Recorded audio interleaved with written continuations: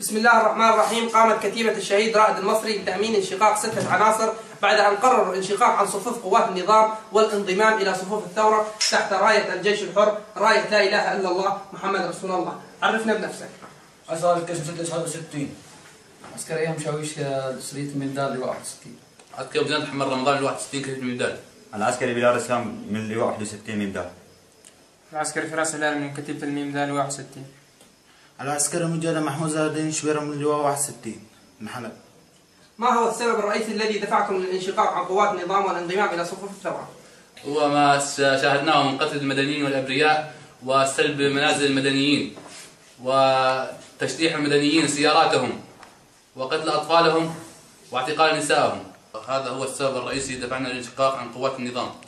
هذا تعهد كتيبة الشهيد رائد المصري بتأمين هؤلاء المنشقين وإيصالهم إلى أهاليهم عندما تتاح الظروف المناسبة. تكبير. الله